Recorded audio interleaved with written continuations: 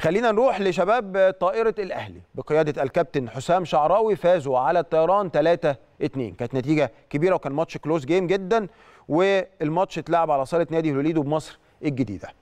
الفرقة عندها ماتش كان النهارده مع وادي دجلة وكسبنا النهارده أيضا مع وادي دجلة.